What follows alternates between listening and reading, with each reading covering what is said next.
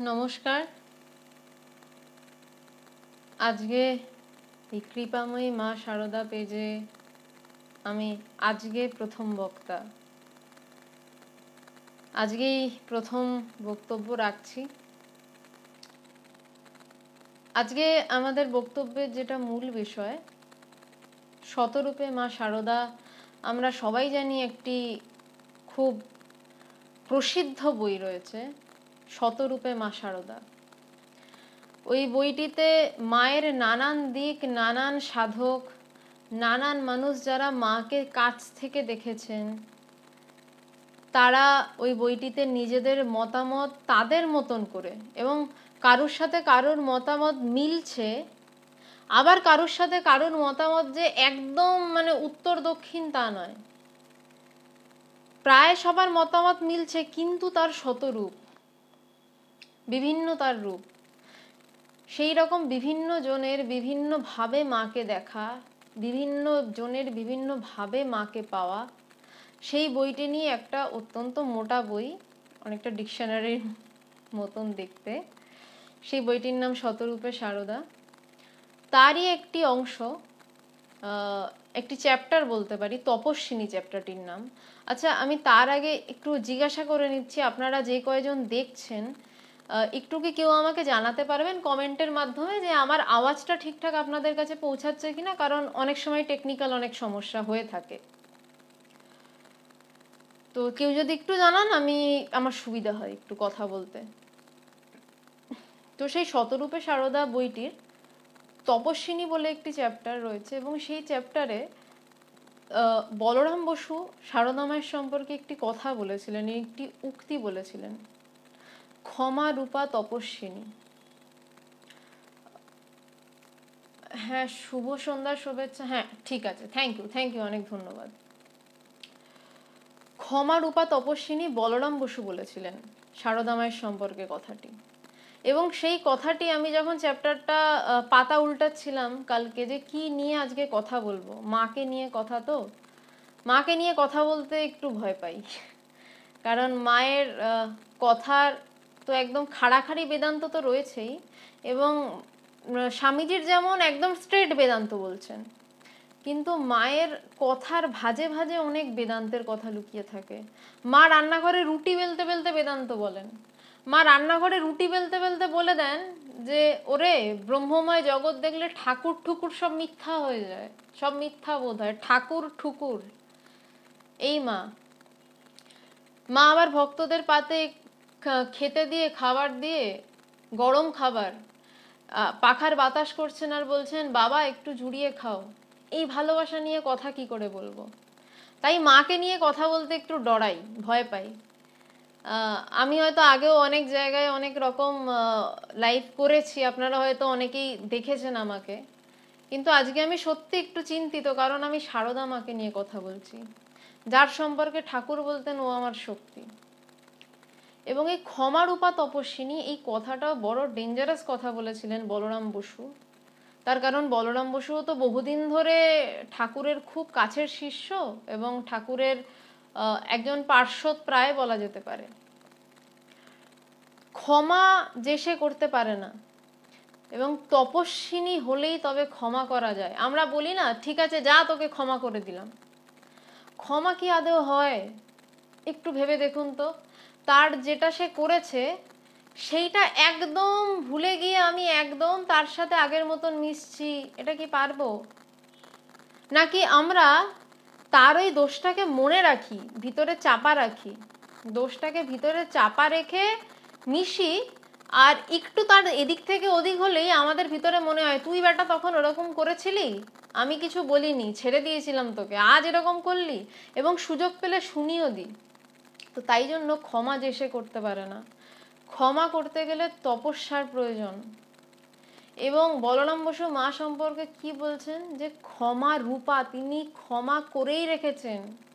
কারণ তাকে ক্ষমা করতেই হয়েছেন। তিনি যে মা, জগজ্জননী মা তাকে বলছেন। তিনি নিজে যে বলছেন যে, আমি গুরুপত্নী নয়, আমি পাতানো মা নয়, আমি নিজের মা। মা কিন্তু নিজের মা আবার ক্ষমা টমা করে না। নিজের মা জানে দোষ করেছে, ছেলেকে ঠাস ঠাস করে দুটো চল লাগালো, চল লাগিয়ে কান ধরে খেতে বসিয়ে দিল। আয়, খেতে আয়। ওই জন্য আমরা মায়ের উপর জোর খাটাই। আমরা মাদেরকে, নিজেদের মাদেরকে টেকেন ফর গ্রান্টেড হিসাবে নিই। ও জানি, যা বলছে বলবে, ও তো আসবেই আবার। আমার কাছেই তো আসবে, আমারই তো মা। সারদা মা কিন্তু তার ওই শিষ্যদের কাছে তার সেই কনফিডেন্টটা দিচ্ছেন যে, আমি তোদের নিজের মা, তোরা ধুলোবালি মেখে এলেও আমি তোদের কোলে নেব। কারণ তিনি সবার ক্ষেত্রে এই কনফিডেন্স কেন দিচ্ছেন, কেন তিনি বলতে পারছেন এবং ভক্তরাও কেন সেটা মানছেন যে আমরা ধুলোবালি মেখে এলেও মা আছেন আমাদের জন্য, এখনও অনেককে আমি বলতে শুনি। ফোনটা একটু ওপরের দিকে করো, ফোনটা আর উপরের দিকে করা যাচ্ছে না, এই অবধিই যাচ্ছে, এটাই প্রবলেমের ব্যাপার। এক মিনিট আমি চেষ্টা করছি। হয়েছে কি? একটু জানিও প্লিজ আর একটু আই এম ট্রাইং এরপর হঠাৎ ট্রাইপড উল্টে পড়ে গেলে আবার আমি জানি না, মা জানেন। আচ্ছা হয়েছে কি? একটু জানাবে। একটু পেজ থেকে জানিও যে ফোনটা যতটা উপরের দিকে করা সম্ভব আমি করেছি। তো যেই কথাটা বলছিলাম, খেইটা হারিয়ে গেল। কথার মধ্যে ইন্টারাপ্ট হলে একটু প্রবলেম হয় আর কি। যে ঠিক আছে এখন থ্যাংক ইউ তো মায়ের কাছে সেই বাচ্চারাও কনফিডেন্ট এবং এখনও আমি অনেককে বলতে শুনি, ঠিক আছে আমি করেছি করেছি, আমি মায়ের কাছে ক্ষমা চেয়ে নিচ্ছি। সারদা মায়ের দিকে তাকিয়ে বলে যে আমার মায়ের কাছে বলে নেব, ঠিক আছে, এরকম ব্যাপার। তো মা, মাকে নিয়ে মানুষ এখনও এত কনফিডেন্ট কারণ মার ওই প্রেম এবং মায়ের এই প্রেমটা আমরা সবাই দেখতে পারি। জগৎ জননী মা সারদা বেলুর মঠে যখন খাবারের ঘর দেখি, বিশাল বড় জায়গা জুড়ে মায়ের পা ছড়িয়ে বসে থাকার ছবি। কেন না মা ভক্তদের ওইভাবে বসে খেতে ভালোবাসতেন? আমরা তার ভালোবাসাটা দেখতে পাই। সাধারণ মানুষ প্রেম বোঝে। একটা পশু প্রেম বোঝে। আমার গুরুদেব ভগবান যখন কলকাতায় প্রথম আসেন, উনি আসামে থাকতেন। তখন ওনাকে কলকাতার একজন খুব নাম করা মানুষ বলেছিল যে, আপনি আসামে বেদান্ত বলেছেন। কলকাতার মানুষদের কি বেদান্ত বলতে পারবেন? অদ্বৈত বেদান্ত, এখানকার মানুষ ওসব বুঝবে না। তো ভগবান বলেছিলেন, কেন? আমি প্রেম দিয়ে বলব? তো বলছে, এখানকার মানুষ প্রেম বুঝবে না। কাকে প্রেম বোঝাবেন? ভগবান উত্তর দিয়েছিল, কেন? ও তাকে ভগবানকে প্রশ্ন করেছিল, আপনি একটা গরুকে প্রেম বোঝাতে পারবেন? ভগবান বলেছিলেন, অবশ্যই পারব। আমি গরুটার কাছে যাব, গরুটার গলায় আমি আস্তে আস্তে হাত বুলাবো, তার মাথায় হাত বোলাবো, তার গলায় হাত বুলাতে বুলাতে তাকে খড় খাওয়াবো, তার কাছে ওইটা প্রেম। আমাদের কাছে কোনটা প্রেম? মা পাখার বাতাস দিয়ে বলছেন যে, বাবা, জুড়িয়ে খাও। আমরা এই বাইরের প্রেমগুলোই মহাপুরুষদের দেখতে পাই। কিন্তু এই প্রেমের পিছনের রহস্য কি?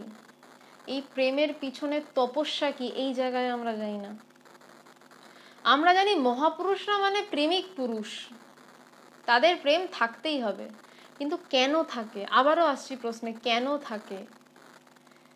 এই প্রেম সেই খান থেকে আসে যেখানে অদ্বৈত বেদান্ত অহং ব্রহ্মাস্মিতে যখন প্রতিষ্ঠিত হন তারা। তারা সদা প্রতিষ্ঠিত। তাদের হতে হয় না।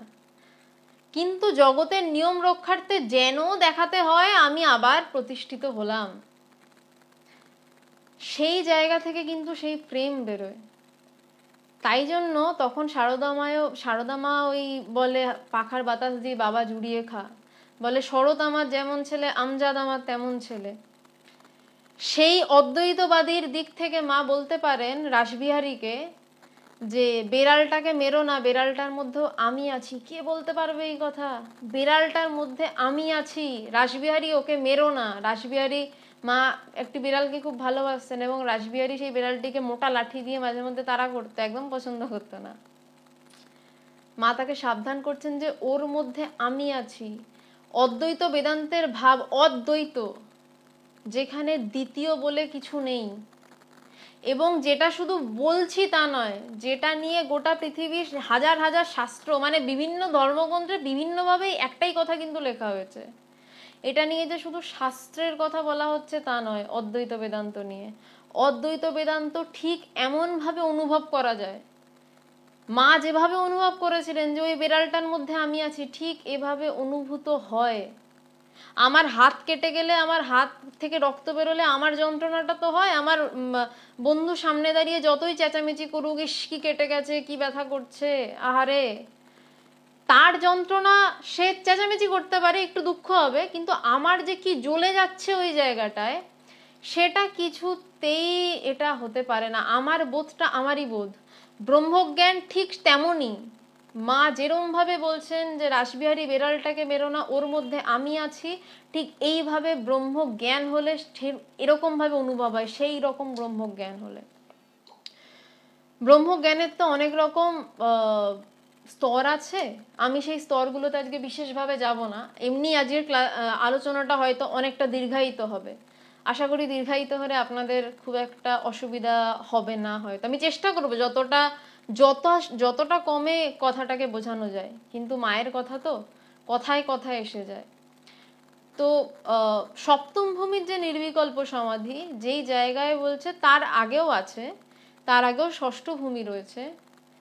চতুর্থ ভূমি পঞ্চম ভূমি ষষ্ঠ ভূমি সপ্তম ভূমি ষষ্ঠম ভূমির যে অদ্বৈতবাদের জ্ঞান, সেই জ্ঞানে যারা প্রতিষ্ঠিত এবং যারা একদম জানছে, অহং ব্রহ্মাস্মি আমি সেই ব্রহ্ম এবং আমি ছাড়া দ্বিতীয় কিছুর অস্তিত্ব মাত্র নেই, নির্বিকল্প সমাধি।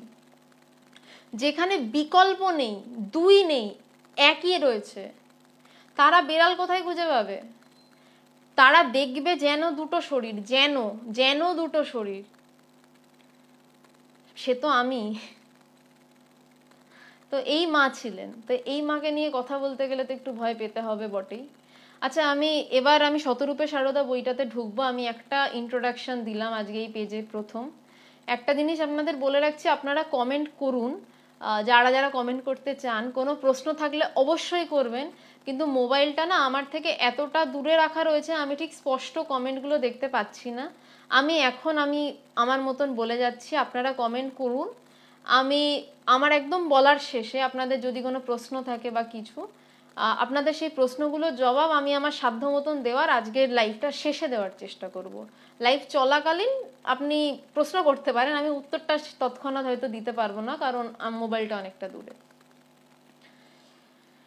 তো শতরূপে সারদা, বইটি থেকে শুরু করছি। চ্যাপ্টারের নাম তপস্বিনী লিখেছেন অভয়া দাশগুপ্ত। একজন গৃহস্থ লিখছেন মাকে নিয়ে। আরও একটি কথা বলে রাখি যে, শতরূপে সারদার প্রত্যেকটি চ্যাপ্টারই এতটা বড় বড় না। আমি কোনোদিনই মানে যখনই শতরূপে সারদা বইটি নিয়ে বসবো, প্রথম থেকে শেষ কখনোই যাব না। কিছুটা পোর্শন যেটুকু নিয়ে আলোচনা করব সেদিন আমরা সেদিন আমরা সেইটুকু অংশ নিয়েই আলোচনা করব।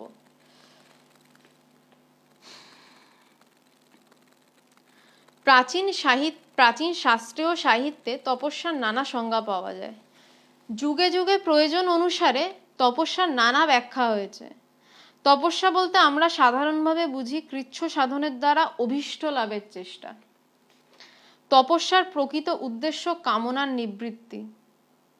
আচার্য শঙ্কর বলছেন, মন ও ইন্দ্রিয়গণের একাগ্রতাই পরম তপস্যা।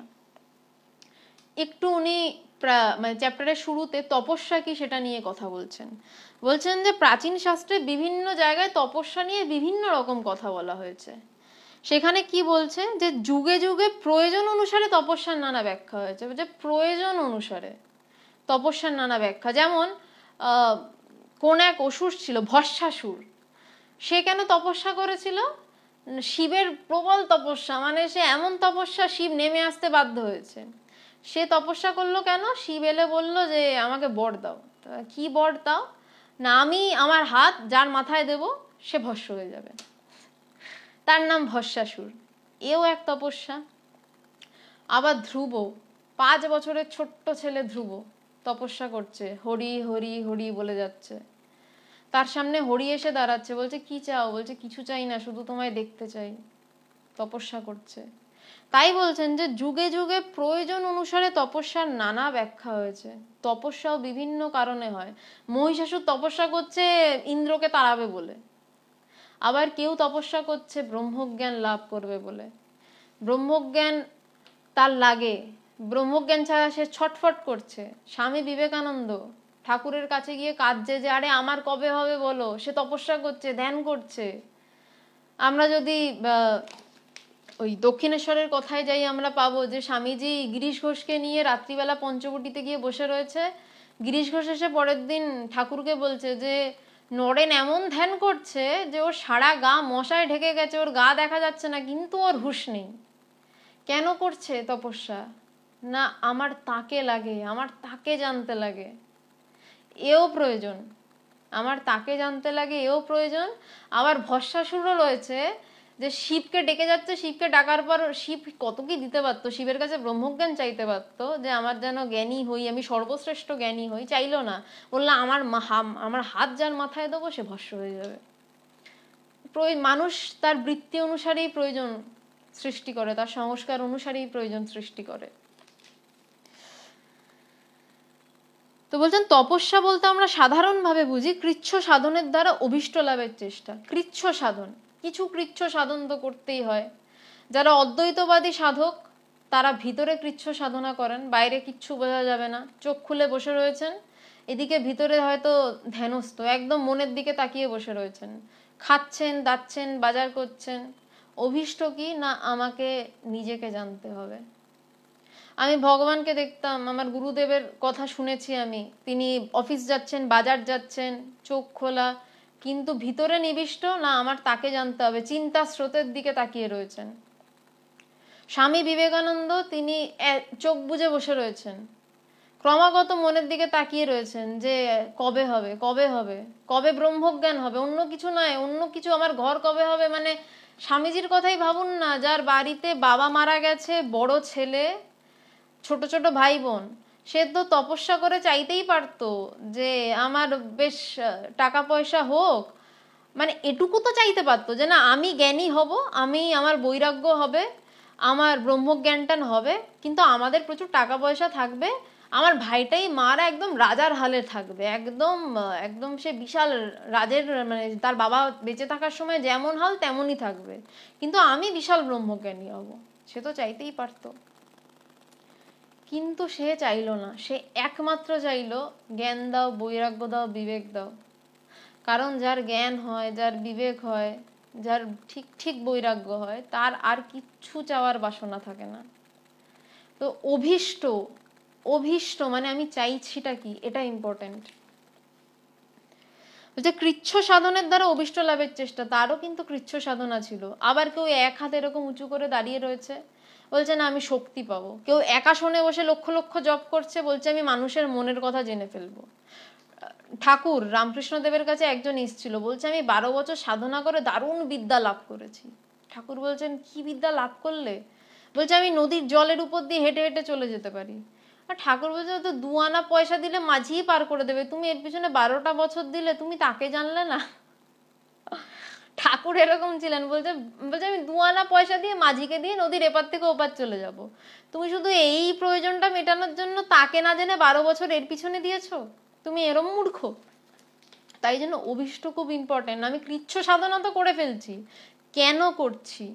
আমার চাহিদা কি? সেইটা কিন্তু আগে আমাকে ঠিকভাবে ঠিক করে নিতে হবে। আমার চাহিদা কি? তপস্যার প্রকৃত উদ্দেশ্য কামনার নিবৃত্তি। এটা সব জায়গাতেই সত্য। আমার কিছু একটা কামনা থাকে। আমি জীব, আমার শিব হওয়ার কামনা থাকতে পারে। মানে আমি নিজেকে জীব বলে মনে করছি, আমি ব্রহ্ম বলে নিজেকে অনুভব করতে চাই, সেই কামনা থাকতে পারে। বা আমার পয়সা কুড়ি লাগে, বা আমার কিছু প্রয়োজন লাগে, অনেক কামনা থাকতে পারে। আচার্য শঙ্কর বলছেন, মন ও ইন্দ্রিয়গণের একাগ্রতাই পরম তপস্যা। আচার্য শঙ্কর মানে আদি শঙ্করাচার্যের কথা বলছেন। বলছে, শঙ্কর কি বলছেন যে, মন এবং ইন্দ্রিয়গণের একাগ্রতাই পরম তপস্যা। পরম তপস্যা কোনটা? আমার মন এক চিন্তা করছে, আমার সমস্ত ইন্দ্রিয় মানে চোখ, নাক, কান, মুখ, জিহ্বা, আমার সমস্ত ইন্দ্রিয়, ইন্দ্রিয়গুলোর কাজ কি? বাইরের জিনিসকে আমার ভিতরে প্রবেশ করানো। বাইরের বাইরের বিষয়কে ইন্দ্রিয় আমার কাছে এনে দেয়। আমি শুধু চোখ নিয়েই যাচ্ছি। আমি বেশি কিছু নিয়ে যাচ্ছি না। আমি চোখ নিয়ে শুধু গভীরে ঢুকছি। আমার চোখের সামনে কি আসছে? আমার চোখের সামনে কিছু একটা বিষয় আসছে যেটা ছায়া আমার চোখে পড়ছে। আমার চোখটা কিন্তু দেখছে না আমার চোখের পিছনে মানে যারা সায়েন্সের রয়েছেন, আমি অত ডিটেলসে যাচ্ছি না মেডিকেল দিক দিয়ে যাচ্ছি না। আমার চোখের পিছনে আরেকটি কোনো যন্ত্র বিশেষ রয়েছে শরীরের, যেটা ওটাকে অ্যাকসেপ্ট করছে। অ্যাকসেপ্ট করে সেটা হাইপোথ্যালামাসে পাঠাচ্ছে এবং সেখানে অনুভব হচ্ছে নিউ নার্ভ এন্ড দিয়ে যে হ্যাঁ আমি কিছু একটা দেখছি এবং সেখানে আমার চোখে চোখ দিয়ে আমি দেখতে পাচ্ছি। তো এই চোখ, কান, নাক, মুখ এই সমস্ত কিছুই কিন্তু বাইরের জগৎকে আমার ভিতরে এনে দিতে সাহায্য করছে। মানে বাইরের জগতে মানে যা রয়েছে। তাই শঙ্করাচার্য তপস্যা অর্থে বলছেন, এবং এই সমস্ত কিছু, এই সমস্ত ইন্দ্রিয়ই, এই চোখ ধরুন, ওই কাজটাই করছে। আমি ভীষণ মন দিয়ে কোনো একটা সিনেমা দেখছি। ভীষণ মন দিয়ে হয়তো আমি কবি খুশি কবি দেখছি। বা দিলওয়ালে দুলহানিয়া লে যায়গে দেখছি। একদম লাস্ট সিন শাহরুখ ট্রেনে উঠে চলে যাচ্ছে, কাজলকে ছাড়বে কি ছাড়বে না? এই রকম সিন তো তখন আমি তো ভীষণ মন দিয়ে ওই সিনটা দেখছি। তখন হয়তো আমার মা পাশ দিয়ে হেঁটে গেল। টিভির সামনে দিয়ে না, পাশ দিয়ে হেঁটে গেল। এবং সেটা আমার চোখের সামনে দিয়েই কিন্তু। আমি কিন্তু আমার মায়ের হেঁটে যাওয়াটা দেখতে পারলাম না। পেলাম না মায়ের হেঁটে যাওয়াটা দেখতে। কারণ আমি খুব মন দিয়ে দেখছি যে শাহরুখ খান কাজলকে নিয়ে যেতে পারবে কি পারবে না। অমরেশ পুরী কাজলের হাত ছাড়বে কি ছাড়বে না। আমি ওই সিনটা মন দিয়ে দেখছি। তো ওই ইন্দ্রিয়গুলো শুধু কাজ করতে পারে না, যদি না তার সাথে মন যুক্ত হয়। আমার মন মায়ের দিকে ছিল না, আমার মন টিভিটার দিকে। তাই জন্য আমি আর কিছু দেখতে পারিনি। আমার সামনে দিয়ে গেছে এবং আমার মা যে যাচ্ছে, সেটাও কিন্তু সেম ভাবে আমার চোখ, ইন্দ্রিয়, আমার হাইপোথ্যালামাসে পাঠিয়েছে এবং নার্ভেন দিয়ে সাইন্টিফিক ওয়েতে সে কিন্তু আমার কাছে সিগন্যাল পাঠিয়েছে, তোমার সামনে দিয়ে কেউ একজন গেছে। কিন্তু আমি সেই সিগন্যাল অ্যাকসেপ্ট করিনি, কারণ আমার মন অ্যাকসেপ্ট করেনি।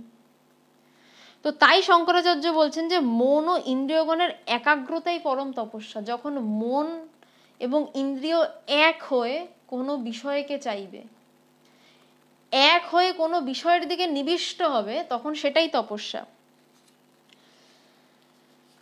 তারপর আরও তপস্যা নিয়ে বিভিন্ন কথা রয়েছে, আমি সেই জায়গায় যাচ্ছি না, আমি পরের প্যারাগ্রাফে আসছি। কোনো মানুষের তপস্যার ইতিহাস সম্পূর্ণ জানা সম্ভব নয়। তবু তপস্যার দীপ্তি সপ্রকাশ, তাকে ঢেকে রাখা যায় না। সারদা কিন্তু পেরেছিলেন। তার দীপ্তি সর স্ব আরোপিত অগ্বগুণ্ঠনে ঢাকা।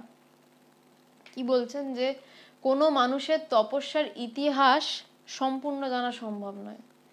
স্বাভাবিক ঠাকুর বলছেন, ধ্যান করবেন মনে, বনে এবং কোণে।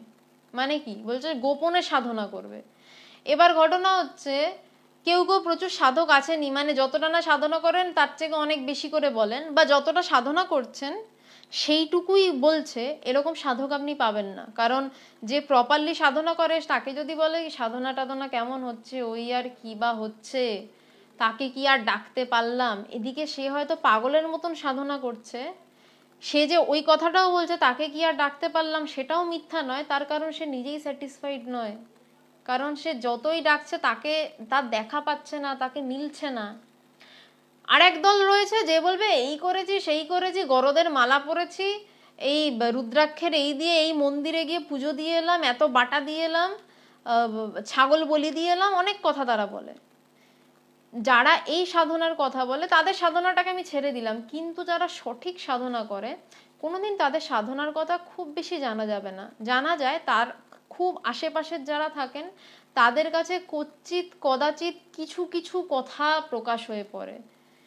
এই সময় এই হয়েছিল। টুক করে, ছোট্ট ছোট্ট ছোট্ট ভাবে প্রকাশ হয়ে পড়ে। তাই বলছেন যে, কোনো মানুষের তপস্যার ইতিহাস সম্পূর্ণ জানা সম্ভব নয়, কিন্তু তপস্যার দীপ্তি সপ্রকাশ সপ্রকাশ, তাকে ঢেকে রাখা যায় না। বলছে, তপস্যা জানতে পারবে না, কিন্তু তপস্যার ফলে যে দীপ্তি, সেটাকে ঢেকে রাখা যায় না। যেমন একটা উদাহরণ দিই মানে আমি খুব বরাবরই আমি খুব কেজো উদাহরণ দিই যাতে মানুষের বুঝতে সুবিধা হয়। আমি খুব বড় সড়ো বিশাল বিশাল উদাহরণ দিই না। ইনভার্টার লাইট দেখেছেন তো? আগে যখন কারেন্ট চলে যেত, ওই ইনভার্টারে চার্জ দিয়ে রাখতে হতো মানে গোটা বাড়ির লাইটের কথা বলছি না ছোট ছোট যে লাইটগুলো থাকে। ওটাতে চার্জ দিয়ে রাখতাম আমরা আগে থেকে। যে কারেন্ট জল কারেন্ট চলে গেলেই একটা সুইচ দিলেই আলো হয়ে যাবে অ্যাটলিস্ট ঘরটা তো আলো হবে। যখন চার্জ দেওয়া হতো, তখন কিন্তু দেখা যেত না। কিন্তু যখন চার্জটা হয়ে যেত, তখন জাস্ট সুইচটা টিপলেই দীপ্তি সপ্রকাশ। তখন আলো জ্বলে উঠত। তখন যে জানতো না, সে বলে আচ্ছা আচ্ছা চার্জটা দেওয়া ছিল। সে বোঝে, যে বোঝার সে বোঝে। এবং যখন ওই আলোটা দেখা দেয় আলোটা ঝলমল করে, তখন বলে যে আচ্ছা এ কি তপস্যা করতো? এ কি সাধনা করতো? কারণ ওই দীপ্তিটাকে আটকানো সম্ভব নয়। ওই দীপ্তিটা জ্বলবেই। বলছে, তাকে ঢেকে রাখা যায় না। ওই আলোটাকে কীভাবে ঢেকে রাখা যাবে? সারদা কিন্তু পেরেছিলেন। তার দীপ্তি স্ব আরোপিত অবগুণ্ঠনে ঢাকা। বলছে, কিন্তু সারদামা সারদামা তো বিশেষ বটেই। বলছে, তিনি পেরেছিলেন। তার কারণ কি? তার দীপ্তি স্ব আরোপিত অবগুণ্ঠনে ঢাকা। তিনি তিনি মহামায়া স্বয়ং। তিনি যদি নিজের মাথায় সমস্ত কম্বল মুড়ি দিয়ে আটকে রাখেন দীপ্তি তো তিনি তাকে চিনবে কার সাধ্য? তাও লোকে তাকে চিনে বসে রয়েছে। তাও লোকে তাকে চিনেছে বলে এইরকম মোটা একটা বই তৈরি হয়েছে এবং আরও অনেক বই তৈরি হয়েছে। লোকে এখন বলে যে, না, ঠাকুরের কাছে চাইলে কি হবে জানি না, মায়ের কাছে যাচ্ছি। আমার মা আছে। লোকে বলে, আমার মা আছে।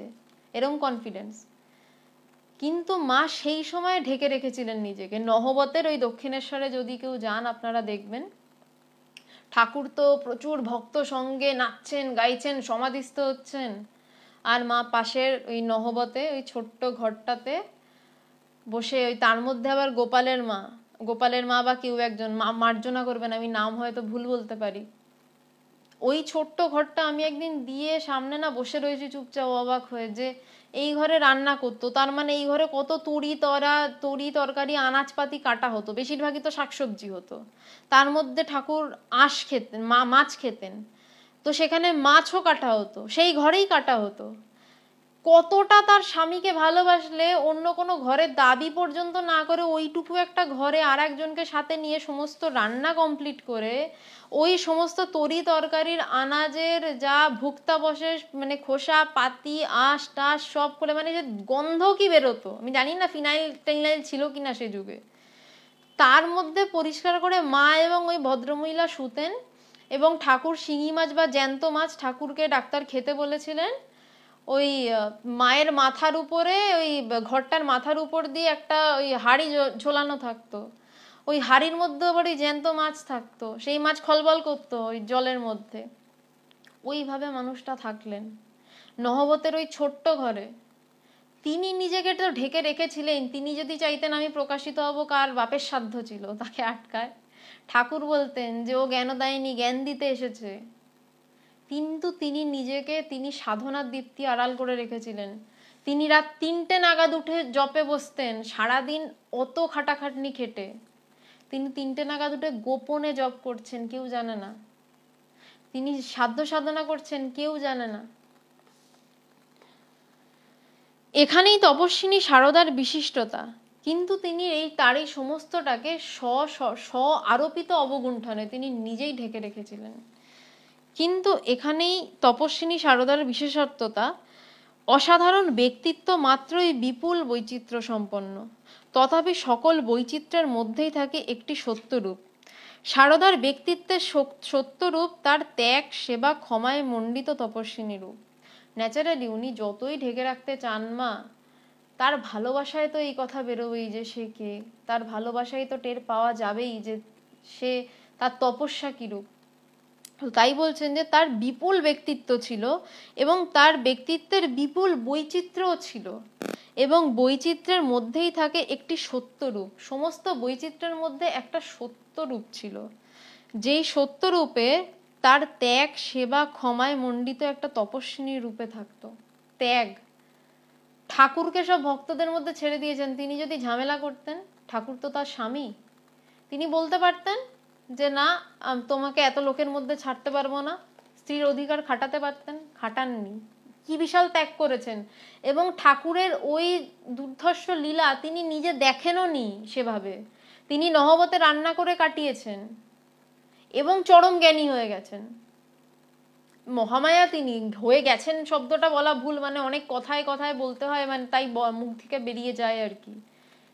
তিনি ঠাকুরের ওই লীলাটাও ত্যাগ করেছেন। নয়, স্বামীকে ছেড়ে দিয়েছেন। বলতে তো পারতেন যে, গোলাপ মা রয়েছে, বিভিন্ন লোক রয়েছে, তারা ভক্তদের রান্না করুক, তোমার রান্না করুক, আমি তোমার পাশে বসে বসে তোমার লীলা দেখব। তিনি তাও করলেন না। তিনি সরে গেলেন। সরে গিয়ে ঠাকুরকে লীলা করতে দিলেন। এর থেকে বেশি ত্যাগ কি হয়? স্বামীকে ছেড়ে দিল। কিন্তু স্বামীর প্রত্যেক মুহূর্তের খেয়াল রাখছেন। স্বামী কি খাবেন, কি করবেন?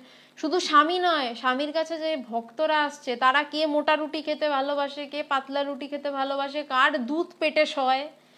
কার দুধ পেটে সয় না কার কি সয়? মা জানেন। মা তাদের জন্য আলাদা আলাদা করে রাখছেন প্রসাদ থেকে।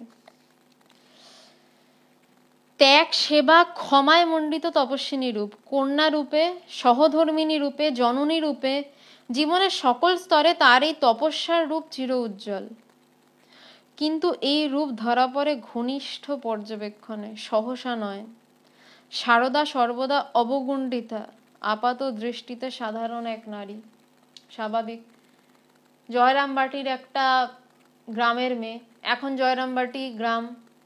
জয়রামবাটি তখনকার দিনে আরও কত আরও কত অজ অজ গ্রাম ছিল, হয়তো আমরা কল্পনাই করতে পারব না, হয়তো কেন, আমি তো কল্পনাই করতে পারব না, কারণ আমি গ্রামই দেখিনি সেভাবে। দেখেছি কিন্তু সেইগুলোকে ঠিক যেমন গ্রাম বলে জানতাম, ওরকম গ্রাম বুঝিনি আর কি। তো বলছেন যে কন্যা তিনি কিরক কত রকমের রূপ তার? বলছে তিনি কন্যা রূপে, তিনি মা বাবার কাছে কিটা কেমন? তিনি সহধর্মিনী রূপে, ঠাকুরের পাশে কীভাবে ছিলেন? স্ত্রী রূপে, জননী রূপে। যেই রূপে আমরা সবাই তাকে চিনি। জীবনের সকল স্তরে তারই তপস্যার রূপ চির উজ্জ্বল। তিনি যখন বাবা মার ঘরে ছিলেন, সেখানেও তার তপস্যার রূপ উজ্জ্বল, কিন্তু চেনা পড়েনি। ঠাকুরের পাশেও যখন ছিলেন, তাকে ঠাকুর চিনতে পেরেছিলেন। ঠাকুর সবাইকে নির্দেশ দিতেন যে, ওরে, ওর কাছে যা, ওকে দেখ। ঠাকুর বলতেন যে, ওই নহবতে যে আছে, সেই আমার শক্তি। ঠাকুর বলতেন যে, ও সারদা, জ্ঞানদায়নী জ্ঞান দিতে এসছে। ঠাকুর বলতেন, ও ছাই চাপা বেড়াল। ছাই চাপা কেন বলতেন? কারণ ছাই চাপা থাকলে বেড়ালের আসল রং টের পাওয়া যায় না। কালকেই শতরূপে সারদা থেকে একটা কথা পড়ছিলাম, আজকে বলি, শুন মানে কথাটা দারুণ লেগেছিল আমার। তখন ঠাকুরেরও অল্প বয়স, মায়েরও অল্প বয়স। জয়রামবাটিতে ঠাকুর বিভিন্ন জয়রামবাটিতে বলছি কামার পুকুরে ঠাকুর বিভিন্ন দেবদেবীদের নিয়ে গল্প বলছেন। তো গ্রামের মেয়েরা সেখানে প্রচুর রয়েছে এবং তারা ভীষণ এনজয় করছে ঠাকুরের উপস্থিতি, ঠাকুরের কথা বলা, ঠাকুরের গল্প বলা। এদিকে সারদামা পড়ে পড়ে ঘুমাচ্ছেন জাস্ট ঘুমাচ্ছেন। ঠাকুরের কোনো কথা শুনছেন না। তো এবার গ্রামের মেয়েরা ঠাকুরকে বলছে, ইস, ও এরকম পড়ে পড়ে ঘুমাচ্ছে, এত ভালো ভালো কথা শুনলো না? ঠাকুর সেই তখন সেই সময় বলছেন যে, ও কি আর সাধে ঘুমাচ্ছে? ও ঘুমিয়েই থাক, ওর এসব কথা শুনে কাজ নেই। ওর কানে এসব কথা গেলে ও চোচার করে দৌড় মারবে। কেন বলছেন? কারণ ঠাকুর একমাত্র তখন তাকে চিনেছিলেন। সহধর্মিনী রূপে তাকে কিন্তু অন্য কেউ চিনে উঠতে পারেনি। তিনি অবগুণ্ঠিতাই ছিলেন। তার তপস্যার রূপও চাপাই রেখেছিলেন। কিন্তু ঠাকুরও তো অবতার, তিনি চিনে বলেছিলেন যে ও যদি ঘুমাচ্ছে ঘুমাক, ওর কানে যদি স্বস্বরূপের আলোচনা, এই দেবদেবীদের আলোচনা মানে কি? নিজেরই তো আলোচনা হচ্ছে। স্বরূপ, নিজের রূপ। নিজের রূপ মানে আমি এখন যদি বলি আমার রূপ। মানে স্বরূপ মানে স্বরূপই আমরা বলি যে আমরা স্বরূপে কে? আমি যদি বলি আমি, তো এবার আমি আর দশ বছর পরের এই এই শরীরটার উপর হাত রেখে তো বলতে পারব না যে এটা আমি। কারণ আমার শরীরটা অলরেডি বদলে গেছে। তো বদলে গেছে ইন দ্য সেন্স অনেক সেল টেল মরেও গেছে, আবার হয়তো চামড়া কুচকে টুচকেও প্রচুর গেছে। শরীরের প্রত্যেক দিন প্রচুর সেল মরে, প্রচুর সেল বাঁচে। মানে প্রচুর সেল জন্ম হয়, কোষের জন্ম হয়। তো আজকের আমার শরীরটার উপর হাত রেখে বললাম, এই আমি। দশ বছর পরে হাত রেখে সেই একই শরীরের উপর তো বলতে পারব না, সে এই আমি। তো বোঝাই যাচ্ছে এটা আমার স্বরূপ নয়। স্বরূপ মানে সেই মন, বুদ্ধি, চিত্ত, অহংকারের পারে গিয়ে যেই রূপ। সেই রূপের কথা ঠাকুর বলছেন, ওর শোনার দরকার নেই, ও শুনলে দৌড় দেবে ওইদিকে। মানে সেই স্বরূপে লীন হতে চাইবে। যে স্বরূপের খোঁজ পায়, তার মন বারবার ওই দিকে টানে। ঠিক কেমন বলুন তো? যারা কোথাও ঘুরতে ভালোবাসেন, তারা খুব সুন্দর জায়গা থেকে ঘুরে এলে বারবার বলেন, ইস, যদি আবার যেতে পারতাম, ইস, যদি আবার যেতে পারতাম, এবং চান্স খোঁজে। একটু চান্স পেলেই যায় গিয়ে। তো তেমনই যারা ওই জায়গার খোঁজ জানেন, তারা আর খুব একটা রূপে টিকতে চান না। তারা চান্স পেলেই ওই নির্গুণ, নিরাকারে দৌড় দিতে চান। তাই ঠাকুর বলছেন, ও ঘুমাক। ওকে ঘুমাতে দে, ও শুনে কাজ নেই, এসব কথা। তো বলছে, এই রূপ ধরা পড়ে ঘনিষ্ঠ পর্যবেক্ষণে, সহসা নয়। ঘনিষ্ঠ পর্যবেক্ষণে তো ধরা পড়বেন মা নিজেকে যতই ঢেকে রাখুন, কিন্তু যখন তার পাশে সারাক্ষণ কেউ থাকবে, কোনো না কোনো মুহূর্তে তো সেই রূপ ধরা পড়বেই, পড়তে বাধ্য। সারদা সর্বদা অবগুণ্ঠিতা আপাত দৃষ্টিতে সাধারণ এক নারী। সারদা নিজের সম্পর্কে স্বভাবতই নির্বাক, মিতবাক বিশেষ ক্ষেত্রে। তথাপি সারদার স্বল্প কথার মধ্য দিয়ে যে রূপটি প্রকট, তা বুঝিয়ে দেয় সারদা বিধাতার আশ্চর্যতম সৃষ্টি। বলছে, সারদা নিজের সম্পর্কে স্বভাবতই নির্বাক। নিজের ব্যাপারে বেশি কিছু বলে না, বলেই না প্রায়। মিতবাক, কম কথা বলে, বিশেষ ক্ষেত্রে। তথাপি সারদা স্বল্প কথার মধ্যে দিয়ে যে রূপটি প্রকট, তা বুঝিয়ে দেয় সারদা বিধাতার আশ্চর্যতম সৃষ্টি। মায়ের প্রচুর প্রচুর প্রচুর কথা পাবেন না। মা হেনা লেকচার দিয়েছে, স্বামীজি লেকচার দিয়ে ভরিয়ে দিয়েছেন। মায়ের অল্প অল্প, ছোট্ট ছোট্ট কথা। স্বামীজি লাঠালাঠি করলেন, যে মানে বেলুর মঠ তুলে দেবেন প্লেগের চিকিৎসার জন্য। স্বামীজি একদম না প্লেগের চিকিৎসা মানুষ মরছে বেলুর মঠ তুলে দেবো। মা শুধু বললেন, না, মঠ তোলা হবে না, মঠ থাকবে। এবং স্বামীজিও তেমন, স্বামীজি মাকে ভয়ঙ্কর শ্রদ্ধা করতেন। স্বামীজি এক বাক্যে, দ্বিতীয় কোনো উক্তি নেই, প্রশ্ন নেই, কোনো তর্ক নেই, এক বাক্যে হাত জোর করে বলল, মা বলেছে, মঠ থাকবে মঠ থাকবে। আর একটা সুন্দর গল্প মনে আসছে। গল্প না, সবই সত্যি ঘটনা। বেলুন মঠে এক কর্মচারী চুরি করত। সে আবার ধরা পড়েছে স্বামীজিদের হাতে। তো এবার স্বামী বিবেকানন্দ, সন্ন্যাসী, সত্যের পূজারী ভীষণ খেপে গেছে হচ্ছে এক্ষুনি এটাকে মঠ থেকে দূর করে দাও। এ চুরি করেছে। তো সে আর কি করে? গেছে গিয়ে জয়রামবাটিতে জয়রামবাটিতে গিয়ে মায়ের কাছে কেঁদে পড়েছে, মা, এরকম চুরি করেছি, স্বামীজি তো তাড়িয়ে দিয়েছে, এবার আমি খাব কি? তো মা তাকে যত্ন আত্মি করে খাইয়ে টাইয়ে চিঠি লিখে দিলেন এবং গিয়ে বললেন যে, গিয়ে চিঠি লিখেছিলেন কিনা খেয়াল নেই, বললেন যে, গিয়ে বলো, মা বলেছে আমাকে কাজে রাখতে। এবং মা আরেকজনকে দিয়ে বা তাকে দিয়ে কীভাবে বলে পাঠিয়েছিলেন মনে নেই, এই কথাগুলো বলেছিলেন যে, ও তো সাধু নয়, ও তো সংসারী লোক, ওর তো অভাব মিটতে লাগে, ও অভাবে চুরি করেছে। ওকে তোমরা রাখো। এবং স্বামী বিবেকানন্দ একটাও কথা বললেন না। মায়ের থেকে ফিরে যখনই শুনলেন যে মা পাঠিয়েছে, তখন বললেন যে, বেটা, হাইকোর্টে গেছিল রে। কি কি শ্রদ্ধা করতেন? ওই ওই স্বামীজিও মাকে চিনেছিলেন। বলে ওই রকম শ্রদ্ধা করতেন। বলছে, বেটা, হাইকোর্টে গেছিল। বলে এক কথায় রেখে দিলেন। মায়ের এরম ছোট্ট ছোট্ট কথা। একসার পিঁপড়ে হেঁটে যাচ্ছে, বলছেন যে ঠাকুর যাচ্ছে। একসার পিঁপড়ে মানে পারবেন নাকি কেউ আপনার নিজের স্বামীকে বলতে? আর সেই সময় তার স্বামী মানে সে সতী মানে সে অন্য কিছু জানে না। স্বামী মানে সে ভয়ঙ্কর একটা ব্যাপার। ভয়ঙ্কর পবিত্র একটা ব্যাপার। একসার পিঁপড়ে মাটি দিয়ে হেঁটে যাচ্ছে। মায়ের জ্ঞানের কোন স্তর মায়ের জ্ঞানের? ওই ছোট্ট একটা কথা বলে দিলেন যে একসার ঠাকুর যাচ্ছে। নিজের স্বামীকে পিঁপড়ে বলে দিলেন। কারণ মা জানেন অদ্বৈতবাদের মা এমন জায়গায় প্রতিষ্ঠিত, জানেন যে পিঁপড়ে এবং তার স্বামী, ঠাকুর, অভেদ, আলাদা কিছু নেই। মাই ছোট্ট ছোট্ট কথা বলতেন। সারদার কথাতেই পাই, জহুরি ভিন্ন, জহর চেনা সম্ভব নয়। তাই এই আশ্চর্য সৃষ্টিকে চিহ্নিত করে দেওয়ার জন্য পৃথিবীর আরেকটি আশ্চর্য সৃষ্টিকে অঙ্গুল নির্দেশ করতে হয়েছিল। শ্রীরামকৃষ্ণের কণ্ঠে উচ্চারিত হয়, ও সারদা, সরস্বতী, জ্ঞান দিতে এসেছে যেই কথাগুলো বলছিলাম। রূপ থাকলে পাছে অশুদ্ধ মনে দেখে লোকের অকল্যাণ হয়, তাই এবার রূপ ঢেকে এসেছে। সারদার অবগুণ্ঠন সেই স্বরূপ আবরণেরই প্রতীক, তপস্যাও তাই অগোচরে। তো বলছেন যে সারদামাই বলতেন যে জহুরি ভিন্ন জহর চেনা সম্ভব নয়, যে একজন একটা হিরে খনি থেকে তোলা হয়েছে একটা হিরে, আমি হিরে ফিরে চিনি না। হিরে কাটিং করা নেই। হিরে কাটিং করা না থাকলে এটাও বোঝা যায় না, এটা একটা দামি কিছু ব্যাপার স্যাপার। একটু ঝলকানি দিতে হয়। তো সেই একটা পাথর যদি আমার কাছে এনে দেওয়া হয়, আমি বলব হ্যাঁ কাচের পাথর, নিয়ে চলে যা। কিন্তু যদি ওই হিরেটা কোনো একটা সোনার দোকানে নিয়ে যান, সোনার দোকানে ওই না কাটিং করা পাথর জাস্ট দেখেই বলবে, আরে, এ তো বিশাল দামি পাথর, তারপর পরীক্ষায় যাবে। যে দেখি এটা কত দামি হিরে, কত দামি পাথর। প্রথমেই বলবে, আরে, এ তো হিরে। তো তাই বলছে, জহুরি ভিনা জহর চেনা শক্ত। তাই এই আশ্চর্য সৃষ্টিকে চিহ্নিত করে দেওয়ার জন্য পৃথিবীতে আরেকটি আশ্চর্য সৃষ্টিকে অঙ্গুলি নির্দেশ করতে হয়েছিল। বলছে, এই মা তো আশ্চর্য সৃষ্টি বটেই। বলছে, এই আশ্চর্য সৃষ্টিকে নির্দেশ করতে পৃথিবীকে আর একটা আশ্চর্য সৃষ্টি মানে ঠাকুরকে বলছে, ঠাকুরকে নির্দেশ করে দিতে হয়েছিল যে, ওরে দেখ, এটা আশ্চর্য সৃষ্টি। শ্রীরামকৃষ্ণের কণ্ঠে উচ্চারিত হয়, ও সারদা সরস্বতী, জ্ঞান দিতে এসেছে।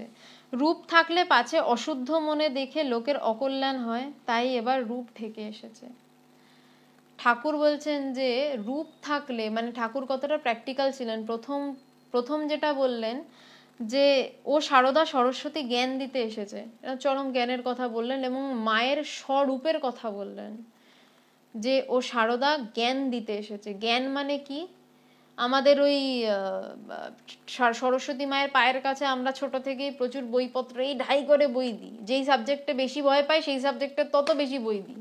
কি মা একদম ঢেলে দেবেন।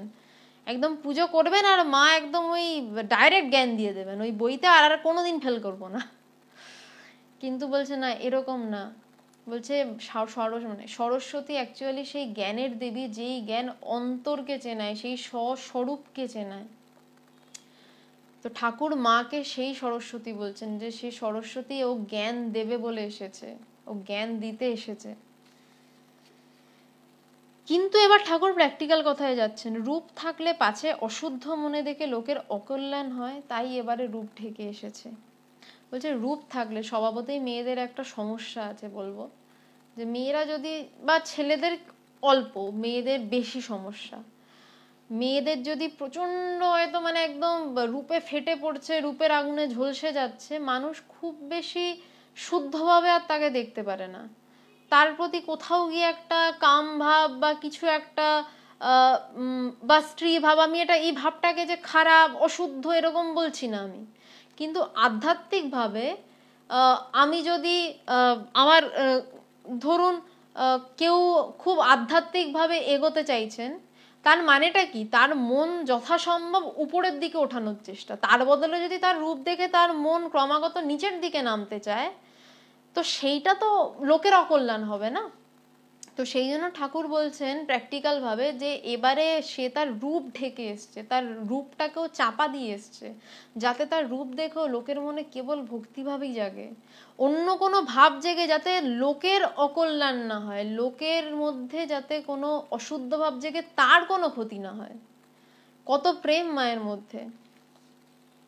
শারদার অবগুণ্ঠন সেই স্বরূপ আবরণেরই প্রতীক। তপস্যাও তাই অগোচরে। বলছে, মায়ের তপস্যাও তাই অগোচরে।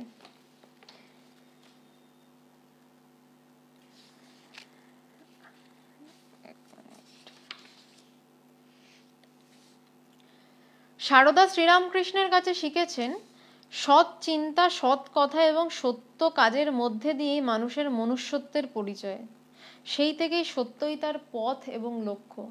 বলছেন, মা শ্রীরামকৃষ্ণর কাছে শিখেছেন সৎ চিন্তা, সৎ কথা এবং সত্য কাজ তিনটে বিষয় হয় আমাদের প্রত্যেকের জীবনে। আমরা প্রথমে যে কোনো কাজ করতে গেলে আগে চিন্তা করি, আমি কি কাজটা করব। সেটা হচ্ছে চিন্তা। তো ঠাকুর মাকে কি শেখালেন না সৎ চিন্তা করতে? সৎ চিন্তা মানে সত্যের চিন্তা। তারপর হচ্ছে সত্য কথা, যা বলছি তাই করছি। আমি হতে পারে এই কাজটা আমি করব না। এটা আমি জাগতিক বিষয়ে কথা বলছি। আসল যে সত্য, সেই সত্যের কথাই আমি যাচ্ছি না। জাগতিক বিষয়ে বলছি, সত্য কথা। বললাম যে আমি যদি বলি যে আমি এটা করব, তাহলে এটা আমি করব। যদি বলি আমি এটা করব না, তাহলে সেটা আমি করব না। কিন্তু কথা রাখা আমাকে শিখতে হবে। যে আমি যখন কথা দিয়েছি যে আমি এই কাজটা করে দেব, তো করে দেব। তো তাই বলছেন যে সারদা শ্রীরামকৃষ্ণের কাছে শিখেছেন সৎ চিন্তা। প্রথমে চিন্তাটা ঠিক করতে হবে। কারণ সমস্ত কাজের পিছনে কিন্তু থাকে আমাদের চিন্তা। এমনকি এক গ্লাস জল গড়িয়ে খাব, তার পিছনেও আগে থাকে যে আমাদের চিন্তা, আমি জল খাব। এই চিন্তা ওঠে, তারপর আমি জলটা খেতে যাই। তারপর সৎ চিন্তা, সৎ কথা এবং সত্য কাজের মধ্যে দিয়ে মানুষের মনুষ্যত্বের পরিচয় এবং সৎ কাজ এবং ঠিকঠাক কাজের মধ্যে দিয়ে আসলে মানুষের পরিচয়। সেই থেকেই সত্যই তার পথ এবং লক্ষ্য। দারিদ্র গ্রামের প্রতিকূল পরিবেশ, অনুদার সমাজ ও বিগত যুগের আবিলতাময় নানা সংস্কার, এসবের মধ্যে থেকেও তার পথ ও লক্ষ্যে স্থির থেকে তার দরিদ্র পিতামাতার পরিবারের নির্দিষ্ট কর্তব্য পালনে আত্মনিমগ্না। গ্রামের মেয়ে অভাব তো ছিল বটেই, অনেক অসুবিধাও ছিল এবং তখনকার দিনে গ্রামে মেয়ে হওয়াটাও একটা বিশেষ অসুবিধা। মানে অনেক অসুবিধার মধ্যে মেয়ে হয়ে জন্মেছি এটাই একটা অসুবিধা। কারণ তাকে পরগোত্র করতে হবে, তাকে নিয়ে নানা টেনশন, আবার ছোটবেলায় গৌরীদান, অনেক অনেক অসুবিধা ছিল। বলছে এসবের মধ্যে থেকেও তার নির্দিষ্ট কর্তব্য পালনে তিনি আত্মনিমগ্না আত্মনিমগ্না তিনি বলছেন, নিজের মধ্যেই ডুবে রয়েছেন সব কিছুর মধ্যে। আশ্চর্য এই যে, এই প্রতিকূল পরিবেশে এই সাধারণ জীবনচর্চার মধ্যেও পরিস্ফুট হতে থাকে তার অসামান্য নিরাশক্তি, অভিমান শূন্যতা আর দৃষ্টিরাহিত্য। তার ক্ষমারূপ তপস্যার রূপ। প্রথম ক্ষমারূপ তপস্যা তো এখান থেকেই হওয়া উচিত। মানে গ্রামের মানুষ, গ্রামে তো খুব বেশি এন্টারটেনমেন্টের জিনিস এখনই নেই, তখন তো বোধহয় আরোই ছিল না। তো মানুষ ওই বিভিন্ন বাড়ির বিভিন্ন সমস্যা নিয়েই কিন্তু তারা আনন্দ করত। একে তাকে ঠেস দেওয়া, একে তাকে কথা বলা। সারদা মায়ের পিছনেও প্রচুর মানুষ লাগতো।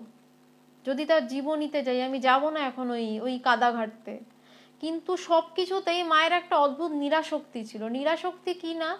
তাদেরকে ভালোবাসছে। নিজের বাবা মা, ভাই বোন সবাইকে ভালোবাসছে, কিন্তু যেন ছাড়া, আসক্তি নেই। সমস্ত করছে। কিন্তু যেন কোথায় মানে কাটা একটা একটা তার যেন কাটা, যোগাযোগ যেন নেই। অভিমান শূন্যতা, তাকে কে কোনটা দিল, কে কোনটা দিল না, তার জন্য তার উপর রাগ করছে, নেই মায়ের মধ্যে। বলছে সেই ছোট থেকেই। তার দোষ দোষ দৃষ্টিরাহিত্য কেউ অন্যায় করছে, সেটা মা মা কিন্তু কারোর দোষ দেখলে অতি অবশ্যই বলতেন। মানে কারোর সন্ন্যাসীদের সন্ন্যাসীদের বলুন, গৃহস্থদের বলুন, তাকে সাবধান করে দিতেন। কিন্তু মায়ের একটা খুব সুন্দর কথা আছে, দোষ দেখবে নিজের। এই কথাটা জীবনের জন্য ভীষণ কাজের। কিন্তু এখানে বলছেন, মায়ের দোষ দৃষ্টিরাহিত্য বলছে, মা কারও দোষ দেখতেই পারতেন না। কারণটা কি এই পরের কথা? দোষ দেখবে নিজের। জগৎকে আপনার করে নিতে শেখো। কেউ তোমার পর নয় মা। এইটা মা বলছেন। কিন্তু এটা শুরুটা কি ওই ছোট থেকে? যখন তিনি সারদা মা এরকম এত বড় হয়ে ওঠেননি, যখন তার কাছে এত সন্ন্যাসী ছেলে আসেননি, তখন থেকে তিনি কারোর দোষ দেখতে পাচ্ছেন না। তার ক্ষমারূপ তপস্যার রূপ বলছে, এই সমস্তই তো তার ক্ষমারূপ তপস্যা। পল্লীর কেউ তার কাছে মন্দ নয়। যে তাকে কষ্ট দেয় সেও নয়। তাই পরবর্তীকালে তার মুখে শুনতে পাই, মানুষ নিজের মনটি আগে দোষী করে নিয়ে তবে পরের দোষ দেখে। পরের দোষ দেখলে তাদের কি হয়? নিজেরই ক্ষতি। আমার এইটি ছেলেবেলা থেকেই স্বভাব যে আমি কারোর দোষ দেখতে পারতুম না। আমার জন্য যে এতটুকু করে, আমি তাকে তাই দিয়ে মনে রাখতে চেষ্টা করি। তা আবার মানুষের দোষ দেখা? মানুষের কি দোষ দেখতে আছে? ওটি শিখিনি। এই ক্ষমারূপ তপস্যা। আমি লাইনটা ব্যাখ্যা করার থেকেও আমি মায়ের যা মা যা বলেছেন আমি আবার রিপিট করছি, আবার মন দিয়ে লাইনটা শুনুন। যে কয়জন রয়েছেন, খুব ইম্পর্টেন্ট কথা বলছেন মা। মা বলছেন, মানুষ নিজের মনটি আগে দোষী করে নিয়ে তবে পরের দোষ দেখে। নিজের মনটি আগে দোষী করে নিয়ে পরের দোষ দেখে, পরের দোষ দেখলে তাদের কি হয়? নিজেরই ক্ষতি আমার এইটি ছেলেবেলা থেকেই স্বভাব যে আমি কারোর দোষ দেখতে পারতুম না। আমার জন্য যে এতটুকু করে, আমি তাকে তাই দিয়ে মনে রাখতে চেষ্টা করি। তা আবার মানুষের দোষ দেখা। মানুষের কি দোষ দেখতে আছে, ওটি শিখিনি। ক্ষমারূপ তপস্যা। এবার এই সাধ্য মতন ব্যাখ্যায় যাই সাধ্য মতন এ কথার জানি না কি আলোচনা হয়। বলছে যে মানুষ নিজের মনটিকে আগে দোষী করে নেয়। আমি বললাম, ও আমার সাথে এই করেছে। ও আমার সাথে এই অন্যায়টা করেছে। আমি বললাম, তো? ওই অন্যায়টা যে করেছে, অন্যায়টা তো বুঝতে আগে হয়েছে আমাকে। খুব সূক্ষ্ম কথা বলছি, এবার কিন্তু আমি বেদান্তের কথা বলছি। এ আমার সাথে এই অন্যায়টা করেছে। তো ধরুন, ছেড়ে দিন এটা।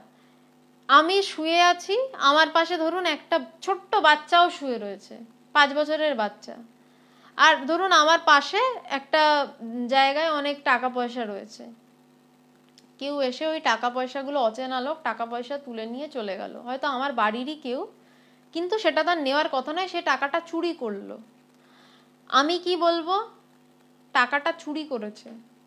কারণ আমার ভিতরে ওই চোরের বৃত্তিটা রয়েছে, ওই চোর ব্যাপারটা কি হয়, চুরি করাটা কি হয়, এই গোটা বিষয়টা আমার মধ্যে রয়েছে। অথচ আমার পাশের যেই পাঁচ বছরের বাচ্চাটা শুয়ে রয়েছে, তার তো ওই চোরের ব্যাপারটা নেই। সে এসে কি বলবে যে দিদি, ওই কাকুটা এলো, টাকাগুলো নিয়ে চলে গেল। খুব খুব সূক্ষ্ম কথা বলছি কিন্তু। তার মনের মধ্যে কিন্তু ওই আমি, কেউ অসুবিধা হলে কাইন্ডলি বলবেন, আমি লাইফটা শেষে আমি যখন প্রশ্নগুলো দেখব, আমি চেষ্টা করব আপনাদের কোনো অসুবিধা হলে পূরণ করার। তো সেই ছোট পাঁচ বছরের বাচ্চাটার মধ্যে কিন্তু ওই চুরির বিষয়টাই নেই। ওই চুরি বলে যে দোষ কোনো মানে চুরিটা দোষী মানে আমি সারদামের কথা পড়তে পড়তেও বলছি, কারণ আমি চুরিটাকে দোষ বলে জানি। বাচ্চাটা জানে কাকুটা এসে টাকাটা নিয়ে চলে গেছে। আমি বলছি চুরি করে নিয়ে গেছে, ওকে পুলিশে দেব। তো মা কি বলছেন যে, তুমি কারও দোষ দেখা মানে আগে তো তোমার নিজের মনের মধ্যে ওই দোষটা রয়েছে। আগে তো আমার নিজের মনের মধ্যে চুরি। ওই বাচ্চাটার তো নেই। তো বলছে, আগে নিজের মনের মধ্যে দোষ, সেটাকে আগে দেখো, সেটাকে আগে সরাও। এক সাধু পহারি বাবা, গল্পটা অনেকেই জানেন, আবারও বলছি। পহারি বাবা শুয়ে আছেন একদিন তার কুঠিয়াতে। সাধুর তো কত সম্পত্তি থাকে আপনারাই জানেন। মানে ঠিক ঠিক সাধু যারা। এটা কুঠিয়ায় থাকে, ওই হয়তো খাওয়ার দু চারটে ঘটি বাটি থাকল হয়তো বা তো সেই পহারি বাবা শুয়ে রয়েছে, তো শুয়ে শুয়ে দেখছে যে একটা চোর এসছে। চোর এসে সব জিনিসপত্র তুলছে, তুলে টুলে বাঁধলো, ছাদলো। বেঁধে টেঁধে যখন বেরিয়ে যাচ্ছে, তখন পাওয়ারি বাবা হঠাৎ চোরটার পিছনে ছুটতে শুরু করেছে। কিচ্ছু বলেনি তার আগে। তো চোরটাও দৌড়ায়, পাহাড়ি বাবাও দৌড়ায়। তো দৌড়াতে দৌড়াতে পাহাড়ি বাবা চোরটাকে ধরে ফেলেছে। তো চোরটা বলছে, আমার ভুল হয়ে গেছে, মাপ হয়ে গেছে, সাধু বাবা, আপনার জিনিস আপনি নিন। আর পাহাড়ি বাবা বলছে, না না না না, আমি তোমাকে সেই জন্য নিচ্ছি না। তুমি তোমার জিনিস তুমিই নিয়েছো। ভেবে দেখুন, বলছে, এই হচ্ছে সাধারণ মানুষ, আমরা বলছি চুরি করে নিয়ে গেল আর পাওয়ারি বাবা বলছে যে, ও তো তা, পরমেশ্বরেরই জিনিস, তোমার জিনিস তুমিই নিয়েছো। ও আমার জিনিস না। তুমি তোমার এই জিনিসটা ফেলে গেছিলে, এইটা আমি দিতে তোমার কাছে এলাম। এই জন্য আমি তোমার পিছনে দৌড়াচ্ছিলাম। তুমি তোমার জিনিস নিয়েছো, নিয়ে চলে যাও। একে বলে অনাশক্তি চোরটা একটা কি ফেলে গেছিল? পাওয়ারি বাবারই জিনিস। পাহাড়ি বাবা তার পিছন পিছন দৌড়ে বলছেন যে, কতটা অনাসক্ত হলে এই কাজ করা যায়।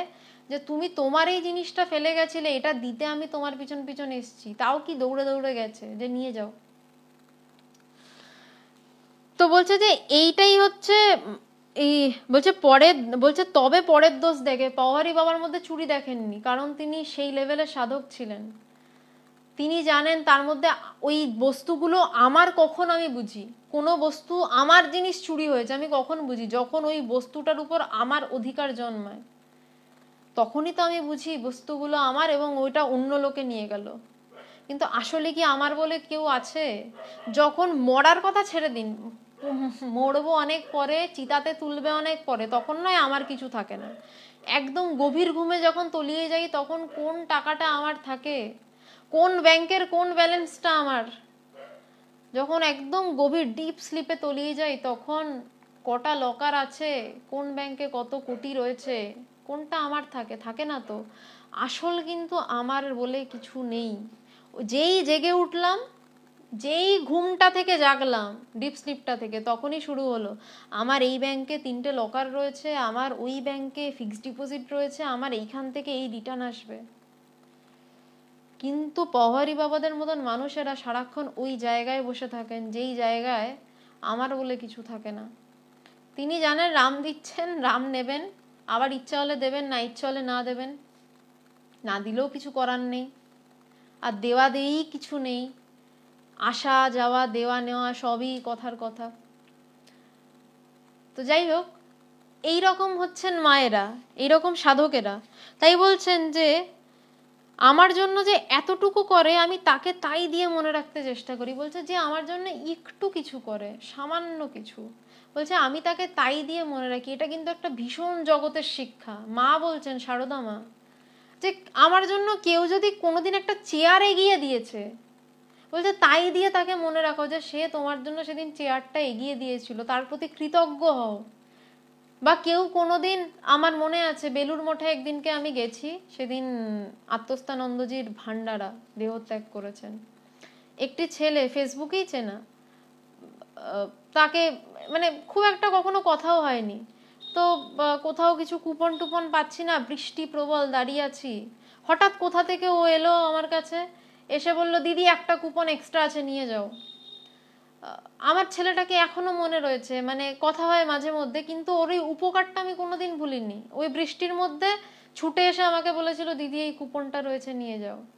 মানে যা মায়ের কাছে শুনি বা যা আমরা আমি আমার গুরুদেবের থেকে শুনি, ভগবানের থেকে শুনি, ঠাকুরের কথা যা শুনি, স্বামীজির কথা শুনি, শুধু যে শুনে শেষ হয়ে যায় তা তো নয়, জীবনে কতটা আসছে তাতেই তো আমাদের এটা বিষয়।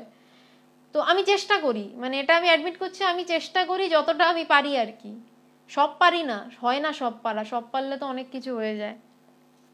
তো মাতদাই বলছেন যে এতটুকু যে আমার জন্য করে, আমি তাকে তাই দিয়ে মনে রাখতে চেষ্টা করি, তা আবার মানুষের দোষ দেখা। মানুষের কি দোষ দেখতে আছে? ওটা শিখিনি। বলছে, মানুষের কি দোষ দেখতে আছে? কি আশ্লেষের সাথে বলছে? যে মানুষের কি দোষ দেখতে আছে? আর সারাক্ষণ আমরা বলি, ও দোষ দেখব না। ও আমাকে এই করেছে, ও আমাকে সেই করেছে। জগতের প্রতি তার অন্তিম বাণীও ছিল তাই। যদি শান্তি চাও মা, কারোর দোষ দেখো না। দোষ দেখবে নিজের। জগৎকে আপনার করে নিতে শেখো। কেউ পর নয় মা, জগৎ তোমার। জগতের প্রতি তার শেষ বাণী ছিল এটাই, যে যদি শান্তি চাও মা ইম্পর্টেন্ট লাইন যদি শান্তি চাও। আর যদি উৎপাত চাও, অশান্তি চাও, ঝঞ্ঝাট চাও, তাহলে দোষ দেখো, লড়ালড়ি করো। কিন্তু আসল কি? তুমি কি শান্তিতে আছো? দিনের শেষে কি তুমি রাগে গজগজ করতে করতে ঘুমাতে আসছো? নাকি, আহ, দিনটা কি গেল? বলে সব ছেড়ে দিয়ে শান্তিতে ঘুমাতে আসতে পারছ। তোমার কাছে কোনটা ইম্পর্টেন্ট আমার কাছে কোনটা ইম্পর্টেন্ট যে প্রচণ্ড রেগে তরবর করে আমি দিনের শেষে বিছানায় এসে দেহটা ফেলছি, একে দেখে নেব, তাকে দেখে নেব, হ্যান করে দেবো, ত্যান করে দেবো, নাকি, আহ, কি শান্তি। তাই মা বলছেন কথার শুরুতে, যদি শান্তি চাও মা, কারোর দোষ দেখো না। দোষ দেখবে নিজের, জগৎকে আপনার করে নিতে শেখো। বলছে, দোষটা নিজের দেখবে, সবার উপরও তো রাগ করে কি হবে? রাগ হয় হয়, অত সহজ নয়, মায়ের বোধহয় সব থেকে কঠিন উপদেশ এটা। এটা মেনে নিতেও মাঝে মধ্যে রাগ হয়। যে বলছে, দোষ নিজের দেখবে, জগৎকে আপনার করে নিতে শেখো। কেউ পর নয় মা, জগৎ তোমার। মূল বেশি আমরা রাগি কেন? মানে আমার বাড়িতে মানে কোনো একটা সংসারে তার ছেলে বা মেয়ে মদ খেয়ে ঢুকলো প্রচণ্ড মাতলামো করছে, অসভ্যতা করছে, তাকে হয়তো আমরা শাসন করলাম। কিন্তু আমি জানি ওই ছেলেটি বা মেয়েটি, মা জানে ওই ছেলেটা, মেয়েটা আমার জগৎ, আমি সামলে নেব। কিন্তু পাশের বাড়িতে যদি এই হয়, তখন বলবে, কি বাজে ছেলে, কি বিচ্ছিরি ক্যাচাল, পরের দিন আলোচনা শুরু হয়ে যাবে। দেখলাম রাত্রিবেলা ফিরলো মদ টদ খেয়ে একদম জঘন্য ব্যাপার। কিন্তু আমি যদি পাশের বাড়িটাকেও নিজের জগৎ বলে ভাবতে পারি? আমি আমার চরম শত্রুটাকেও যদি নিজের জগৎ বলে ভাবতে পারি? তখন কি আমি পারব তার নামে এরকম করে কথা বলতে? নাকি তখন তার পাশে গিয়ে কোনো ভালো সময় মাথায় হাত বুলিয়ে বলল, বাবা, করিস না রে এরকম। এরকম করতে নেই। তাই মা বলছেন যে, যদি শান্তি চাও। এবং সেটাতে কিন্তু শান্তি, আমি পাঁচজনের সাথে ক্যাচাল করলাম, ওটাতে কিন্তু শান্তি নেই। ওটাতে আমার ইগো স্যাটিসফাই হতে পারে, আমার অহংকার স্যাটিসফাই হতে পারে, আমার অহংকার পরিপুষ্ট হলো। হ্যাঁ আমি বলেছি, আমি প্রতিবাদ করেছি। কিন্তু আমার, ওটাতে আমার ভিতর শান্তি পাবে যদি আমি পরে গিয়ে তার মাথায় হাত বুলিয়ে ফাঁকা সময় বোঝাই যে, বাবু, এগুলো করিস না, করলে তো তোরই ক্ষতি। আমি নিজে জানি যে আমি তাকে ক্ষমা করেছি এবং আমি পাঁচজনের কাছে সেটা নিয়ে বলতে যাইনি। কেউ পর নয় মা, জগৎ তোমার। অপরের দোষ না দেখার এই কৌশলটি শিশুকাল থেকে আয়ত্ত করে নিয়েছিলেন বলে সকল পরিস্থিতিতে সকলের অপরাধ তিনি ক্ষমা করে দিতে পারতেন।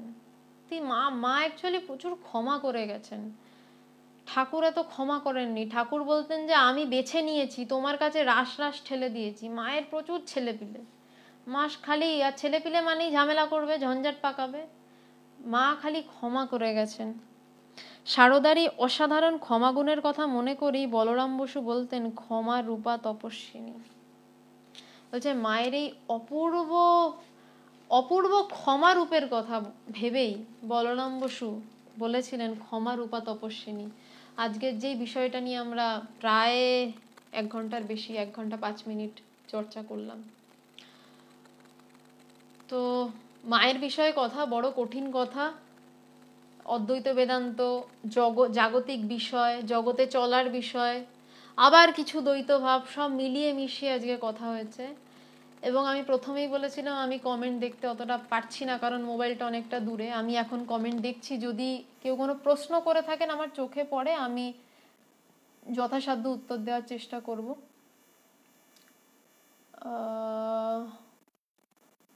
সে অর্থে খুব একটা প্রশ্ন তো আমার চোখে পড়ছে না। আচ্ছা একজন বলেছেন, তোমার, যা আচ্ছা একজন বলেছেন, তোমার নাম কি বোন অপূর্ব লাগছে? শ্রাবণী চক্রবর্তী বলেছেন আমার নাম তৃষিতা সেন। ধন্যবাদ। আচ্ছা যারা বলছেন, খুব ভালো লাগছে। তাদের সবাইকে ভীষণ ধন্যবাদ এবং যাদের বিশ্লেষণ ভালো লেগেছে ধন্যবাদ। ভালো লাগল, এটা কি আপনার প্রথম লাইভ? না, এটা এই করুণাময়ী মা সারদা পেজে আমার প্রথম লাইভ। কিন্তু এর আগে বেশ অনেকগুলো লাইভ আমি ইন্ডিয়ান মংস পেজে করেছি, স্বামী শিষ্য সংবাদ নিয়ে। এবং সেখানে স্বামী শিষ্য সংবাদ বইটির একদম প্রথম পাতা থেকে পুঙ্খানুপুঙ্খভাবে ধারাবাহিকভাবে চলছে। ওখানে ক্রমাগত বৃহস্পতিবার সন্ধ্যাবেলা আটটা এবং রবিবার সন্ধ্যা আটটা নাগাদ স্বামী শিষ্য সংবাদ থেকে লাইভ আমি ওখানে করছি। এবং বিবেকানন্দ রচনা সমগ্র বলে একটি প্রাইভেট গ্রুপ আছে, ওখানে স্বামীজির পত্রাবলী থেকেও কখনো কখনো লাইভ করে থাকি। আচ্ছা আর খুব একটা প্রশ্ন পাচ্ছি না। তো মাকে জেনেছো, খুব